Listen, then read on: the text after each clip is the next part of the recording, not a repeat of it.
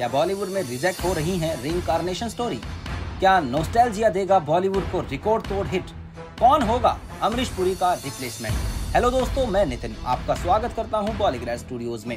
90s में आई राकेश रोशन की director Karan Arjun movie एक बहुत बड़ी हिट थी। इस मूवी की कास्ट से लेकर स्टोरी और गानों तक सब कुछ परफेक्ट था। शायद इसीलिए आजकल इसके पार्ट टू की चर्चाएँ बॉलीवुड में जोरों शोरों से चल रही हैं।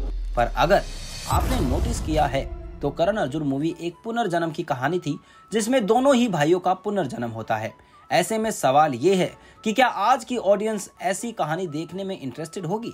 आजकल जहाँ इतने सारे नए और क्रिएटिव आइडियाज़ ने बॉलीवुड को घेर लिया है, जहाँ डायरेक्टर्स और मेकर्स को कुछ अलग हटके दिखाने के लिए हॉलीवुड से टक्कर लेता वीएफएक्स और ड्रामा मूवी में साइंस का तड़का लगाने की पूरी कोशिश करते हैं। क्या वहीं ऐसी मूवीज़ को ऑडियंस देखना पसंद करेगी? दरअसल ये टॉपिक आज से नहीं, बहुत लंबे समय से चर्चाओं में है। पुनर्जन्म की कई कहानियाँ हम असल ज़िंदगी में भी सुन चुके हैं। पर इनमें से कितनी सच है और कितनी झूठ, ये नहीं कहा जा सकता। कुछ कहानियों के बहुत ठोस एविडेंस भी हैं और ये साइंटिफिकली अप्रूव्ड भी है।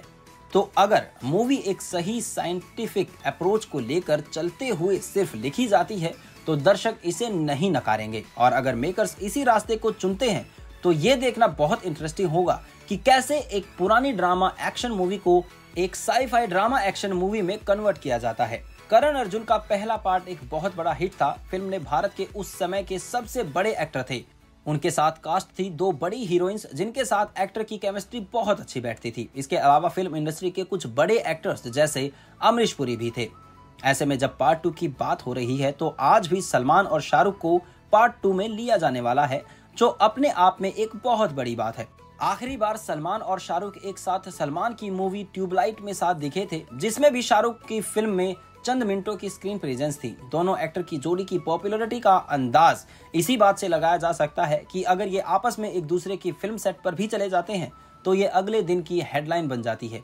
दोनों की मिली जुली फ़ैन फॉलोइंग ही करण अर्जुन टू को एक रिकॉर्ड तोड़ हिट बनाने में पोटेंशियल रखती है। करण अर्जुन में विलन का पार्ट निभाने वाले अमरीश पुरी अब इस दुनिया में नहीं है। ऐसे में फ़िल्म को एक नए विलन की ज़रूरत होगी। आज के समय में बॉलीवुड के पास कई दमदार विलन देखने को मिलते हैं, जैसे प्रकाश राज, नवाजुद्दीन सिद्दीकी, राहुल देव, गुलशन ग्रोवर। और ये लिस्ट और भी लंबी है ये सभी एक्टर्स अपने आप में भी लेजेंडरी हैं, पर इनमें से कौन सा एक्टर करण अर्जुन टू में विलन का किरदार निभाने के लिए मेकर्स की नज़र में एकदम परफेक्ट होगा। ये देखना बाकी है। तो आपको क्या लगता है? कौन होगा करण अर्जुन टू का villain let us know in the comment section video को लाइक करें और चैनल को सब्सक्राइब करना बिल्कुल मत भूलिएगा। धन्यवाद।